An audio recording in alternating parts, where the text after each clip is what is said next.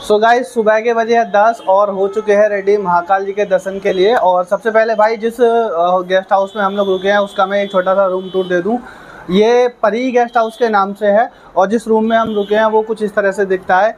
ज़्यादा बड़ा नहीं है, ज़्यादा स्पेसियस नहीं है। और एक फ़ैन लगा हुआ है एसी है नहीं, वैसे एसी की अभी इतनी रिक्वायरमेंट नहीं है। एक, दो, तीन और एक चार बेड थे। चार बेड वाला इसलिए दे दिया क्योंकि इन लोगों के पास गेस्ट नहीं थे। इसलिए हम दो लोगों को चार बेड वाला इन्होंने ये गेस्ट हाउस सॉरी रूम दे दिया है।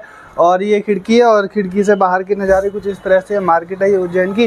वैसे फ़िलहाल हमें इस इस खिड़की से कोई काम नहीं है क्योंकि हम यहाँ से रेडी होकर निकल रहे हैं।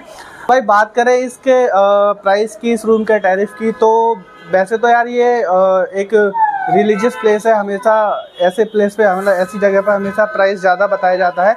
लेकिन डिपेंड करता है कि आपकी बार्गेनिंग स्किल्स कैसी है। तो इसका जो ऑनर था, इस गेस्ट हाउस का जो ऑनर था, उसने हमें जो बताए थे, वो बताए थे एट हंड्रेड रुपीज़ शाम तक के लिए, वो भी शाम तक के लिए। लेकिन बार्गेनिंग की और पाँच सौ रुपये में ये हमने फ़िक्स कर लिया। चलो अब चलते हैं भाई, ज़्यादा टाइम नहीं है। भाई ये दूर से आते हैं। ये कुछ ऐसा इंटीरियर है भाई परी गेस्ट हाउस का। बाहर से मैं दिखा दूँ। बाहर से कुछ ऐसा दिखता है, परी गेस्ट हाउस ज़्यादा बड़ा नहीं है, छोटा सा ही है। सो दोस्तों, निकल चुके हैं भाई बारह ज्योतिर्लिंग में से एक महाकाल जी के दर्शन करने के लिए। और ये जो ज्योतिर्लिंग है ना भाई, ये इकलौता ऐसा ज्योतिर्लिंग है बारह ज्योतिर्लिंग में, जो कि दक्षिण मुखी है और स्वयंभू है। स्वयंभू का मतलब ये है कि ये खुद से स्थापित है, किसी ने इसको स्थापित नहीं किया है। ये छोटा सा चौक था जिसकी मैंने अभी थोड़ी देर पहले आपको बताया था, और लेफ़्ट साइड यानी कि इस साइड में मंदिर का रास्ता है और प्रसाद ले लिया है। ये फूल है और ये सब है। मुझे नहीं लगता कि शायद अंदर जाता होगा, अंदर लेते होंगे, ये घर के लिए ही होगा। और माथे पे लगवा लिया भाई, जय महाकाल लिखवा लिया, चंदन लगवा लिया। अब चलते हैं दर्शन के लिए।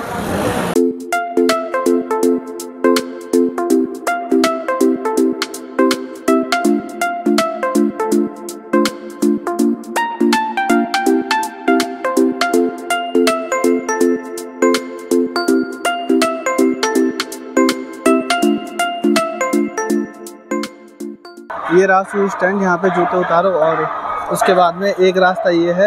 यही रास्ता है अंदर जाने के लिए वैसे।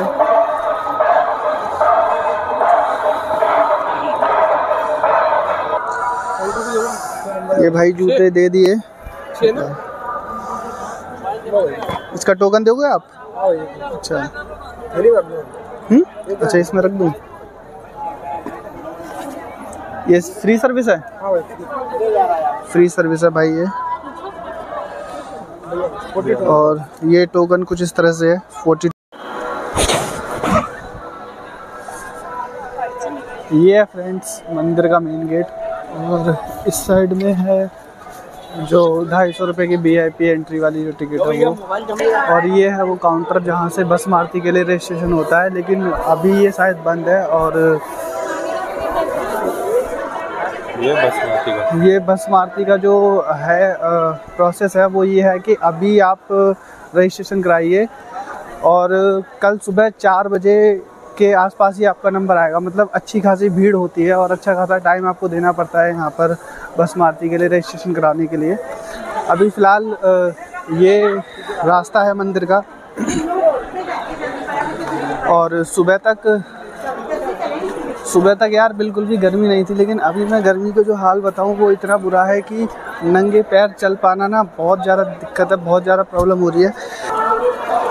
कारपेट है इसलिए चल पा रहे हैं, वरना बिना कारपेट के चलना बहुत मुश्किल है भाई। और ये एग्ज़िट गेट है, जब आप दर्शन करके इस तरह से आएँगे घूम के तो ये है एग्ज़िट गेट और इस साइड से जब लेफ़्ट हो जाए, इस साइड से जब लेफ़्ट हो जाएँगे, वो है एंट्री गेट चलना है काल भैरव उज्जैन अपन और सामने है महाकाल कॉरिडोर। ये रास्ता जाता है मंदिर के लिए। ये है भाई मंदिर का प्रवेश मार्ग यानी मेन गेट और इस तरह से घूमते हुए इधर आना है।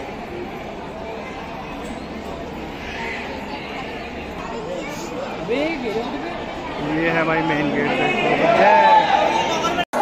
महाकाल दोस्तों, सुबह के बजे साढ़े ग्यारह और हम लोगों के दर्शन हो गए यार। मैं दिखा देता हूँ, ये है मंदिर का मेन गेट और इसी से एंट्री लेनी है। इसकी लाइन जो है वो वहाँ से शुरू होती है, काफ़ी लंबा है, लगभग दस मिनट की लाइन होती है उसके बाद में फिर इस मंदिर से गेट की एंट्री होती है।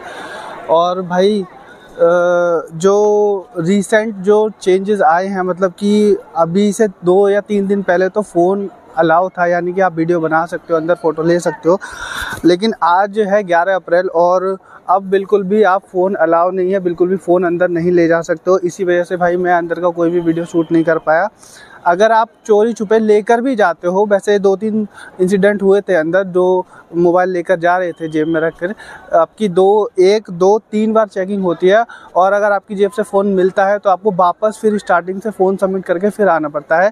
यहीं पर ही सामने ही लॉकर है गेट नंबर सॉरी यहीं सामने ही लॉकर है काउंटर नंबर तीन से आपको सबमिट कराना है, वो सामने लॉकर है और काउंटर नंबर दो से आपको जो है, वो आपका मोबाइल मिलेगा। यानी कि बिल्कुल भी भाई मोबाइल মোবাইল और कैमरा अब अलाउ नहीं है मंदिर के अंदर, ना ही कोई वीडियो, ना ही कोई फ़ोटोग्राफी अलाउ है। और हाँ बात यह है कि 11 अप्रैल है, भीड़ बिल्कुल भी नहीं है भाई। मुझे लग रहा था कि शायद भीड़ होगी और जिस वजह से मुझे वो वी वाला जो पास है टू फिफ्टी का हाँ यहाँ पे जो है दर्शन दो तरह से होते हैं। एक तो नॉर्मली और दूसरा है वीआईपी पास से। वीआईपी पास की जो वैल्यू है, जो प्राइस है, वो है दो सौ तो भाई रिकमेंड करूँगा, अगर मंदिर के अंदर भीड़ नहीं है बिल्कुल भी तो आप वो पास मत लो, क्योंकि उस पास को लेने का कोई फ़ायदा है, बेकार में दो सौ आप खर्च करोगे। बस फ़र्क इतना है कि अगर आप नॉर्मल लाइन से आ रहे हो तो आपको बस दस मिनट वॉक करना पड़ेगा और अगर आप पास लेकर आते हो तो दो या तीन मिनट में हो जाता है। लेकिन जो दस मिनट था, जो मंदिर के अंदर घूमता हुआ रास्ता था, वो बहुत अच्छा था यार। बिल्कुल लगेगा नहीं कि आप आपको थकान हो रही है या आप बोर फील कर रहे हो, क्योंकि वो जो रास्ता है मंदिर के मंदिर के अंदर से होते हुए जा रहा है, वो काफ़ी अच्छा है। अरे, वो अगर भीड़ नहीं है तो प्लीज़ वो दो सौ का जो वीआईपी एंट्री वाला पास है, वो मत लेना। मंदिर की सुंदरता को देखते हुए, आप आराम से टहलते हुए और महाकाल के जयकारे लगाते हुए दर्शन करना। अभी मैं मंदिर के बाहर ही हूँ और रिसेंटली ज़्यादा टाइम नहीं हुआ है ये महाकाल कॉरिडोर को बने हुए। जब शाम होती है तो देखो कितना अच्छा यहाँ सारी लाइटिंग होती है और उधर भी काफ़ी अच्छी अच्छी मूर्तियाँ हैं बड़ी बड़ी जो है भगवान की मूर्तियाँ हैं।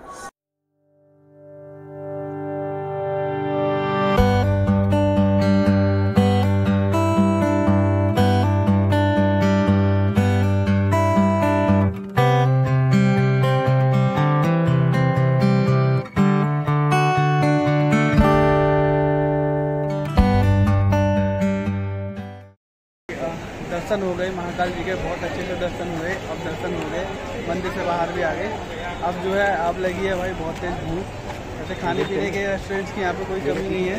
चारों तरफ़ अगर देखे तो रेस्टोरेंट है ये देखे वो अपन स्वीट्स और एक हीरा सिवा रेस्टोरेंट ये है एक श्रीजी रेस्टोरेंट सामने एक वो रहा बता के वो फ़ूड ब्लॉगर वाला अपना पूरा जो है वो फ़र्ज़ निभाएगा। ज़रा बता टेस्ट करके बताइए सर ये दाल कैसी है?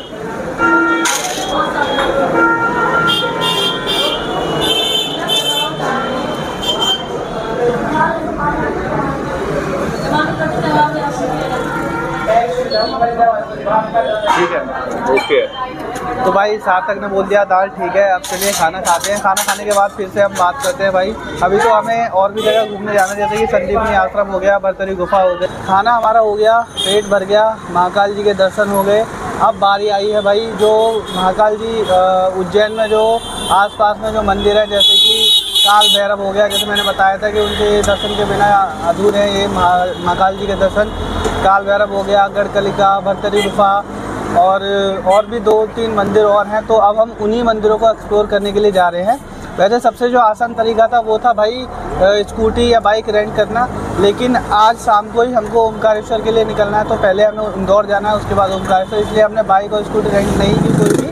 हमने जो किया वो किया, ये ऑटो हायर हमने जो ऑटो है वो हमें सारे जो आसपास के जितने भी मंदिर हैं जो मैं नाम ले रहा हूँ और अभी आप वीडियो में देखोगे भी तो वो सारे मंदिर ये भैया हमें घुमाएँगे। और इन्होंने जो हमसे जो चार्ज लिया है वो लिया है फोर हंड्रेड रुपीज़ यानी कि चार सौ रुपये में हम दोनों लोगों को वो सारे मंदिर घुमा के वापस उस जगह पर छोड़ देंगे जहाँ से इंदौर के लिए हमें बस मिलती है। भैया वो कौन सी जगह है? नाना खेड़ा बस स्टैंड नाना खेड़ा बस स्टैंड नाना खेड़ा बस स्टैंड से हमको इंदौर के लिए बस मिलेगी और फिर इंदौर से हम ओमकारेश्वर जाएँगे।